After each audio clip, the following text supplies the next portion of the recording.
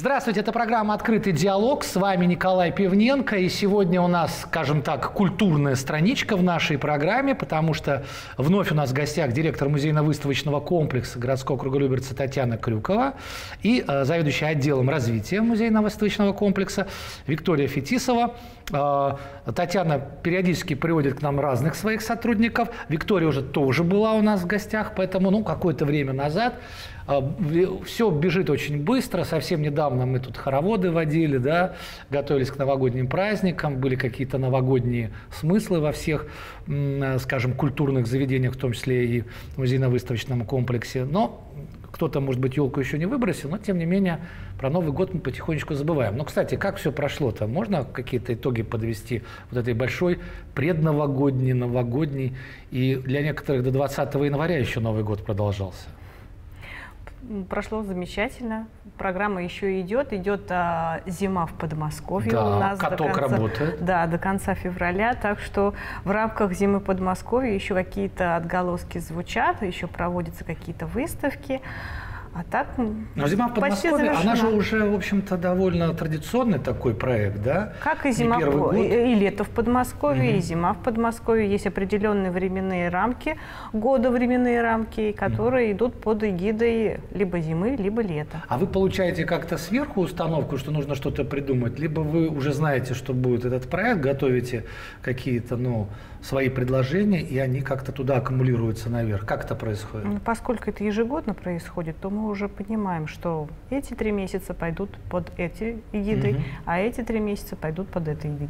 Но это как бы то, что специализированно готовится. А есть какие-то выставки, которые, ну, меж, наверное, межвременные тоже могут быть, правильно понимаю? Да, не всегда все выставки, которые идут, например, летом, угу. попадают, например, под летнюю тематику или зимой, под зимнюю тематику. Так вот и было в этом году. У нас было 3-4 а, выставки, например, в картинной галерее, только одна подходила под тематику угу. застывшей на мгновение зимы. Она ну, я скажу, что если летом, например, сделать выставку картин зимних, в этом, наверное, тоже в жару, в июль какой-нибудь, будет какое-то хорошее ощущение, Конечно. потому что даже не нужно включать кондиционер, да, если хорошие полотна, да, то у тебя есть такое ощущение.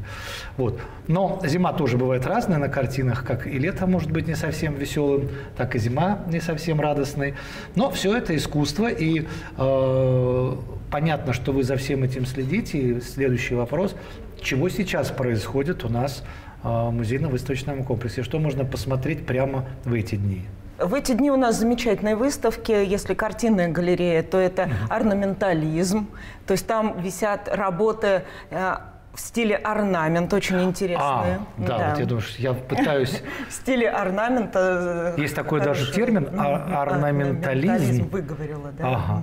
Есть. Да? А что, как, как вот это как, что за а, выставка? Эта выставка достаточно интересная, достаточно известная художница привезла свои работы и работы своих учеников. Угу. И в данном случае как раз э, наш э, экспозиционно-выставочный отдел сработал так, что с одной стороны можно видеть э, работы художника, а с другой стороны ее замечательные их ученические работы, ее учеников. Речь идет об орнаменте, да? То есть какой-то вот... Орнамент в разной стилистике, в разных цветах, орнамент на бумаге, на холсте, орнамент на ткани.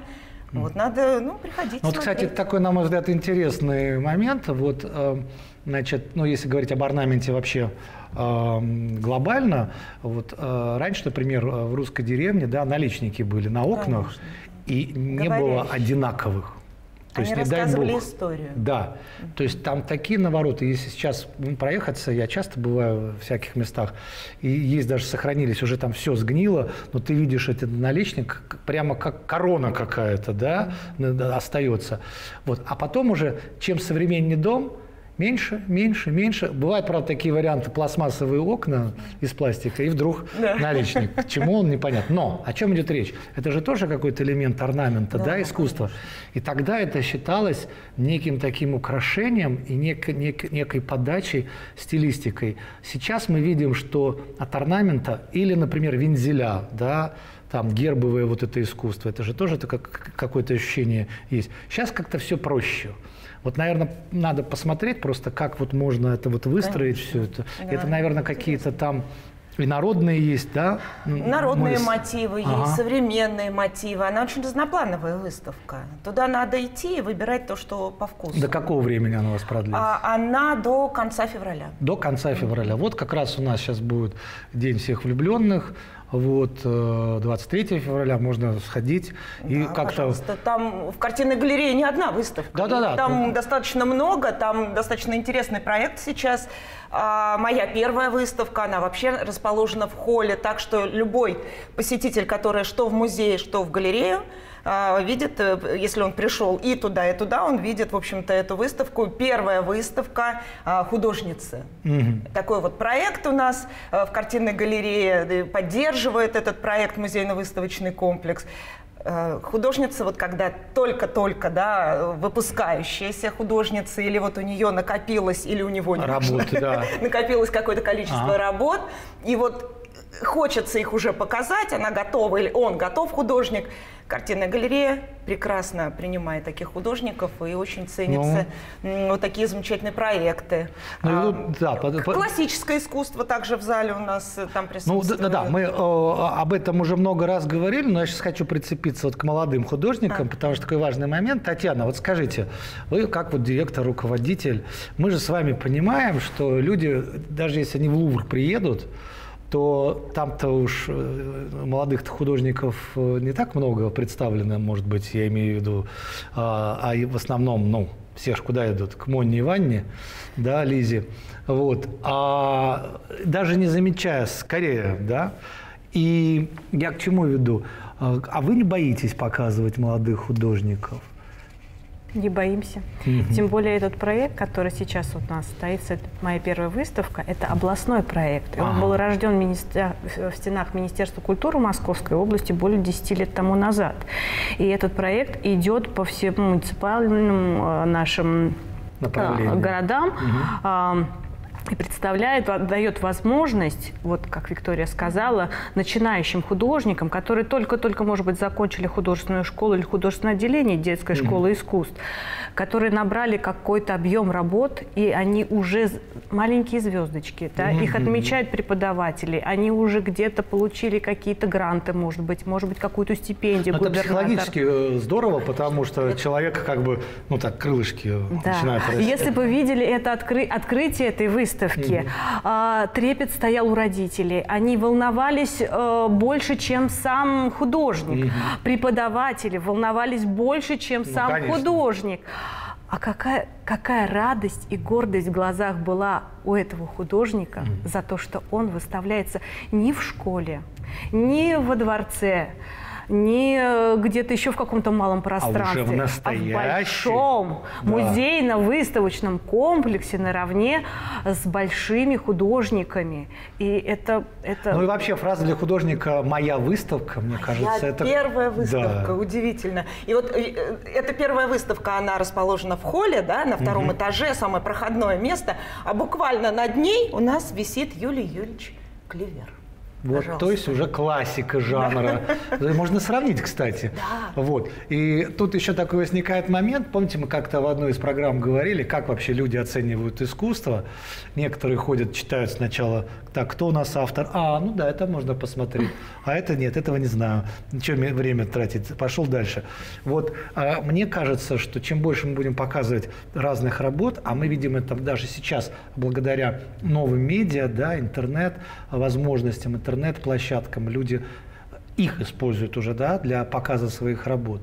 Но это такой метод э, достучаться до каждого, а здесь все-таки такое пространство, некое музейное, uh-huh. да, некая вот традиция. И это, конечно, хорошо, когда вот этот, ну, как в старинном музее шорох половиц, ты идешь и вот что-то смотришь. И что после этого получает вот э, художник, ну, помимо того, что запись у него в портфолио, а что говорят вам после таких выставок художники молодые? После таких Спасибо, вы... до свидания? Нет, они готовы с нами сотрудничать ага. и готовы уже после того. Во-первых, практически каждый из них готов поступать mm. в ВУЗ непосредственно художественной Ну, то есть убедились, что да, можно да, идти дальше. Готовы. В общем-то, в этом и есть и наша То есть вы толчок тоже даже, да? Определенный. Я угу. считаю, что да. Для, для будущего. Я считаю, что да. Ну и в дальнейшем, конечно, привлечение молодого поколения и таких выставок, оно же потом и посетителей нам дает, правильно? Ну, То конечно. есть ее же друзья, ее же а, соратники Разрастаются, по искусству. Да. да. А потом и... раз и на второй этаж пошли конечно, посмотрели. Конечно. Раз мы заговорили про картинную галерею, так, давайте. надо сказать, у нас в этом году юбилей. Так. У нашей маленькой девочки. Ей в этом году 5 лет. Галереи. Да. Вот совпало, что все это связано с 400-летием. Связано. круга Люберца. Да, галерея готовит очень большое количество интересных мероприятий. Мы вернемся к этому, Татьяна. 400 лет Люберцам. Я думаю, что у вас там уже как это все а, огонь, прям подготовка идет. Да, это наш год. Да. Мероприятий что, масса, наверное. Да, вся история, конечно, мы храним как раз ту историю, угу. которая может рассказать многое о тех четырех э, веках наш, э, существования городского округа Люберцы, угу. от первого упоминания в первых песцовых книгах да, до, до нынешних дней. Я так понимаю, будет несколько всяких вариаций выставки, будут и какие-то да, мероприятия. И что выставки, будет? Ага. и пленеры мы приготовили, угу. и э, экскурсионные новые маршруты мы По тоже городу. да, и мастер-классы и многое-многое, что вот с 1 марта у нас стартует очень интересная экскурсия по Люберецкому краеведческому музею, именно mm. специально подготовлена по 400-летней истории. У нас а, от пера до ручки есть очень интересная программа, которую тоже можете услышать и экскурсию, и попробовать написать пером, и mm. ручкой, то есть сравнить, как же писали наши Поскрипеть. предки. Да, э, как писали наши предки, и также говорю по э, территории нашего городского округа Люберцы новые маршруты, и в Малаховке разрабатываются mm-hmm. новые маршруты к этому приурочены. Так а что... это будет как-то сведено в какую-то программу? Да. Да, когда это планируется, чтобы это можно было увидеть? Программа это планируем. Ну, во-первых, мы разместим обязательно на нашем сайте. Mm-hmm. Дальше это все обязательно пойдет и в программу комитета по культуре, это все можно будет видеть. И там в течение года будет? Теч... Это все в течение года, да. Мы готовим прям вот с, с марта месяца и до конца этого года, 23-го, mm-hmm. вот мы распланировали цикл программ, Э, Придется за один год рассказать о четырех веках да. существования Люберец. И так, и, ся, да, и с этой вот. стороны, и вот так. И не только Люберец, да, а городского округа, Гр... потому что там да. и Томилина, и Краскова, там да. целая история. Там Октябрьский. Вот в Малаховке, да. кстати, очень интересно Малаховка, готовится да. экскурсия именно в, Мал... в Октябрьский на мануфактуру замечательную. Ну, и я так понимаю, мы ждем гостей, и об этом мы поговорим сейчас во второй части, потому что хочется не только привлечь своих постоянных посетителей, но и тех, кто здесь живет, но не в курсе еще музейно-выставочного комплекса, комплекса, о чем мы всегда говорим. Ну и, конечно, тех гостей, которые наверняка будут приезжать, ну, 400 лет, наверное, об этом скоро заговорят на федеральном уровне, и потянутся сюда всевозможные туристы. Их тоже надо встречать, и они захотят познакомиться с историей края. Напомню, что это программа «Открытый диалог». Дождитесь продолжения. Напомню, что это программа «Открытый диалог». У нас в гостях директор музейно-выставочного комплекса Татьяна Крюкова и заведующий отделом развития этого комплекса Виктория Фетисова. Э, итак, туристы могут потянуться в город. И сейчас, я помню еще в прошлом году, когда говорили о 400-летии, для любого, наверное, города, который отмечает юбилей, ну, начинаются некие, с одной стороны, радостные приготовления, с другой стороны, скажем так, на чиновничьем уровне свои, своя подготовка идет – а у вас идет подготовка, сам Бог велел, потому что это музей, это история, и тут начинаются такие раскопки в собственном музее. Вот вы тут мне всегда, ну, если можно так сказать, вы мне тут по секрету в перерыве сказали, что у вас есть какой-то экспонат, который чуть ли не ровесник городского круга Люберца. Не чуть ли, так. ровесник. Так, и что это? Ой, удивительная вещь, сейчас ее приводят в порядок. Да, она у нас в порядке. Ну, еще лоска, лоска. Да, лоска, да, мы хотим. Ой, удивительная э, вещь такая. Это коса. Коса, крестьянская. В смысле, коса? Коса. Срезали с кого-то? Нет, а, косить а, сено. Вот ты, господи, а я, а я думаю про Видите, мужской подход какой. Сено косить удивительно необычное. Сохранилось. Откуда вы, как вы докажете, что она... А вот это вот давайте сохраним интригу. Придя в краеведческий музей, Там, наверное, штампик увидеть стоит. Это, вот мы сейчас как раз готовим к ней да, определенную презентацию, Ага. увидеть этот предмет, найти его и услышать ее историю этой Так, косы. это получается 1820... 600, а, 623 1623 год. Я 200 лет добавил, легко так. Да, Там, наверное, 1600. штампик стоит где-то. На косе. Да не стоит. А, нет, ну конечно стоит, конечно. Ну, да, потому что, ну как, надо же- а как же, да. понимать и четко быть уверенным, что это именно. Ну, коса это да, такой символ, как в одну сторону, так и в другую, что называется. да. Но в данном случае это крестьян, инструмент Да-да-да, мы крестьянина, рассматриваем. без которого ни- никаким образом он себе не добудет. ни Ну вот еды. кстати, вот мы сейчас переходим к возможности посмотреть. Для музейно-выставочного комплекса это, наверное, должно быть золотым временем. Я прекрасно понимаю, и вы не дадите соврать, и наши телезрители, что мы постоянно с вами в- контексте, да, каждый год мы что-то с вами там рассматриваем, вы рассказываете о выставках, и приходят, кстати, участники ваших выставок, даже без вас, я имею в виду тех, кто выставляются у вас. Но сейчас золотой год для того, чтобы действительно, наконец-то, люберчане сами со своими родными, близкими, вот с теми туристами, которые потянутся, наконец-то пришли, посмотрели, узнали хоть что-то про свой край, что здесь было, чего нашли. Давайте мы сейчас вкратце, да, а, Татьяна, напомним, что там у вас в музее можно посмотреть. Ну, такую тоже замануху сделаем. Ну, во-первых, эти четыре века вы можете увидеть э, в наших экспозициях Люберецкого краеведческого музея. Мало того, эти четыре века вы можете увидеть, что было еще до этого года, и несколько тысяч лет назад. Палеозойская эра. Да, там какие такое? окаменелости вы увидите, как, э, какие остались от э, тех морей, которые у нас были на нашей территории. У нас А, были моря. Да, э, какие ракушки, Видите, как? какие морские лилии окаменелые. Это все можно увидеть. Когда-то Во- здесь было море, берег, Да, пляж.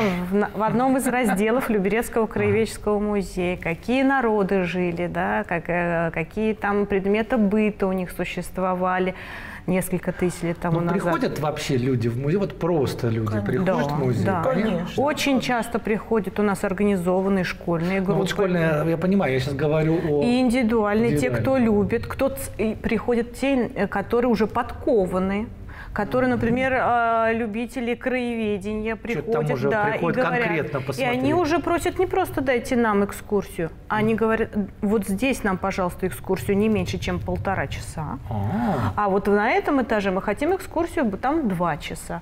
То есть они ценят, они понимают. Гурманы. Да, мало того, что они уже подкованы, и они хотят не по-быстрому просто пройти и услышать поверхностную информацию, они хотят с погружением. Ну вот еще школьники, вы сами сейчас сказали, это тот момент, а у нас впереди еще рассказ о Пушкинской карте, который так вот сегодня она везде висит, мы рекламу видим, на мой взгляд, довольно такой не самый привлекательный вариант Александра Сергеевича, но это как бы уже не, не- не наше дело. Вот. Но они то вспоминают, то забывают. Сейчас мы к ней вернемся, но сначала школьники. Но мы же с вами понимаем, и взрослые люди, что тоже были школьниками. Ну какой музей, ну что там, к чему? Как сделать так, чтобы их заинтересовать? Есть у вас способы, чтобы ребенок, который лучше бы где-нибудь бы как бы смыться с этой ну, экскурсии до того, как, как вы их заинтересовываете? Музейными программами. Интерактивными программами, И что же- театральными программами. Так, и что вы с там делаете? элементами игр, театра и так далее, и даже танцев. Ага. Мы танцуем, мы играем, мы делаем представления детям в стилистике определенного мероприятия. И новогоднего, и масленичного скоро, и любого другого. И они на это клюют в хорошем смысле Очень слова. детям нравится. И приходят и снова, и снова, и снова. Вот классным руководителям нравится. Они, например, если это младшая школа, они вот выпустили, да, четвертый класс, и взяли первый, и снова идут к нам. Да, вас, да. Ну, и я так понимаю, потом, возможно, эта культура, ведь мы давно когда-то говорили, ну, какой-то летний, я помню, был эфир, а, может быть, даже вот вы как раз вдвоем и были, говорили о том, что есть спрос вообще на музеи, когда, помните, в Москве очереди стояли огромные, да, на, на любую выставку, да, на любую, и на Ивазовского я везде на этих выставках бываю, вот, и, значит, просто невероятно. И по уровню, скажем, подготовленности ты видишь, где-то вот действительно гурманы пришли, а где-то люди пришли просто потому, что все пришли, а в-третьих, пришли люди, ну вот, которые вдруг начали, да, сами по себе. Некоторые тащат детей, и детям это неинтересно, а некоторые смотришь, да, вот рассказывают ребенку что-то. То есть а вы же являетесь институтом своеобразным, да, привлечения внимания. От того, как вы примете этих школьников, да, зависит конечно. потом. И вот тут, конечно, возникает пушкинская карта. Угу. Вот она вам помогает для нас, ну, мое понимание, ты, если ты молодой человек, студент, ты просто можешь за меньшие деньги сходить посмотреть. Для вас, мне кажется, это какая-то же проблема. Вы меньше доход получаете? Нет, или как? нет. нет. во-первых, не за меньшее. Ребята за это не платят ну, вообще. Ну, ну, Им на карту начисляются деньги. Ну, кто-то же им их начислил, эти деньги. Я имею в виду для государства. Это да. государственная Но политика. я имею в виду для государства. Государство как-то решает эти вопросы. Вот расскажите, непонятен до, до конца механизм Пушкинской а, карты? Непонятен. Но вообще он достаточно прост оказался. Так. И для нас он, мне кажется, интересен. Э, мы с удовольствием поддержали эту тенденцию, тем более, что она помогла нам привлечь именно вот самое сложное поколение в музей от 14 до 22 лет, ну, это да. вот действительно так самое-самое. Ничего не нужно, не все хочу. вперед, да, да, да. телефон и больше ничего не надо. Да. да. Э, здесь приходят ребята, приходят, оплачивают, им удобно, они оплачивают через наш сайт. Угу. То есть все мероприятия по Пушкинской карте у нас вывешены на сайте, они заходят онлайн, не нужно заранее никуда приходить. Угу. Угу. Если вдруг они не смогли, то им обязательно помогут уже в музее наши сотрудники. Вот. Они оплачивают, приходят, и дальше они сами выбирают, хотят просто смотрят выставку. Хотят, берут э, экскурсионную программу. Угу. Там а, разные а, а до какого возраста пушкинская карта? До 22 лет. Если 23, уже все поздно. Мы уже не потянем. Чуть-чуть не хватает. Вот, а, а так очень интересно. Они с удовольствием идут по этой карте. Сейчас будет провокационный вопрос директору. А с вас требуют какую-то отчетность? Понятно, что пушкинскую карту-то сверху спустили. Наверняка требуют отчетность. Сколько у вас было посещений по пушкинской карте? Что вы делаете для того, чтобы пушкинская карта заработала? Есть же такое? Есть такое. Мало ну, того, я так понимаю, во всех музеях. Мало того, посещение по пушкинской карте входит в рейтинг главы.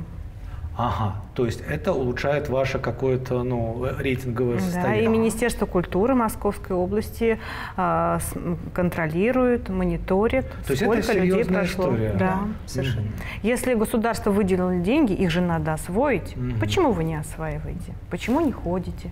Почему не приходят посетители и так далее? Значит, что-то не так думает, да, наверное, государство. Мало того, ага. чтобы мероприятие по Пушкинской карте было одобрено, да. мы не можем его сами придумать и поставить да, в наш план.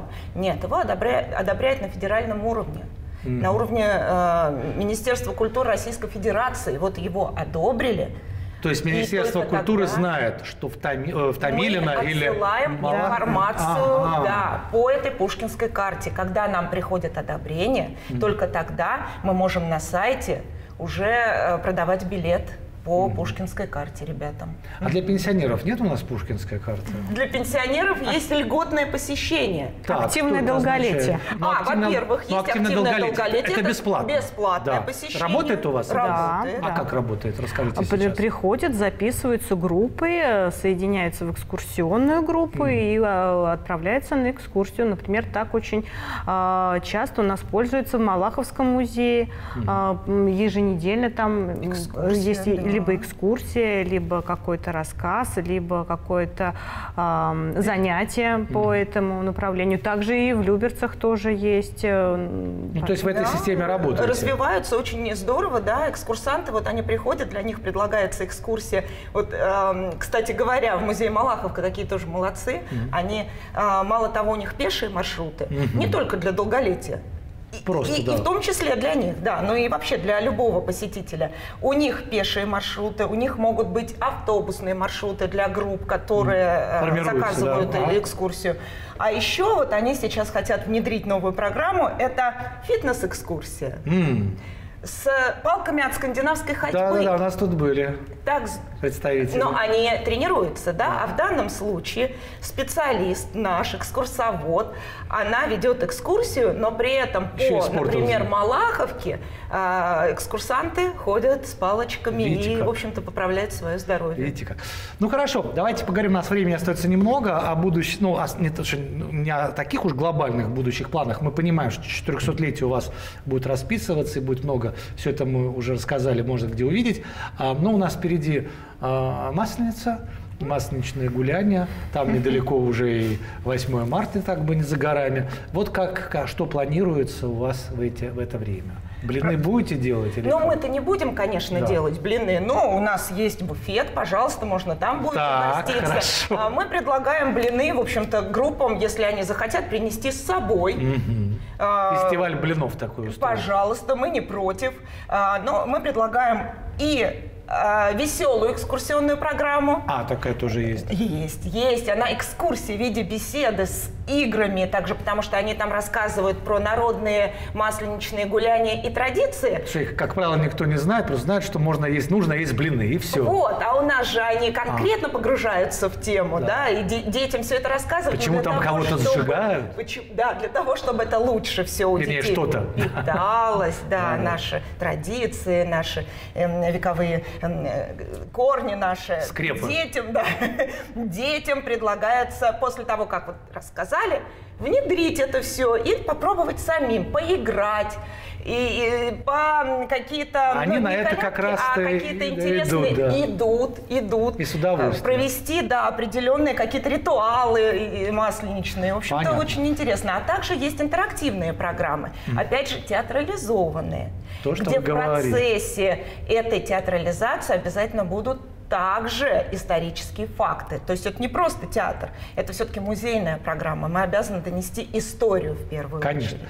Татьяна, ну мы уже завершаем. Вам, как директору, финальное слово. Давайте еще раз расскажем о 400-летии. Вот. У вас есть прекрасная возможность а, звать всех в гости. Вот. Программ будет много. И еще раз, где мы ее увидим, все вот расскажите нам. В музейно-выставочном комплексе можно узнать много интересного, особенно об истории нашего городского округа. И мы с удовольствием расскажем, покажем, проведем экскурсии, За руку возьмем буквально. за руку возьмем, научим писать пером, а, рубить топором. И кассу можно будет увидеть. Да. Проведем по окрестностям поселков, если захотите попасть на экскурсию. Потому что очень важно, что, как это ни парадоксально, но даже сами жители Люберец довольно часто маловато знают исторических фактов о своем родном округе. Это важно. Спасибо вам большое. Давайте по ходу 400-летия периодически встречаться, тем более выставки меняются, и будете рассказывать нам о них заново. Директор музейно-выставочного комплекса Татьяна Крюкова и заведующий отделом развития э, этого комплекса Виктория Фетисова были гостями нашей сегодняшней программы. С вами был Николай Пивненко. Всего доброго. До свидания.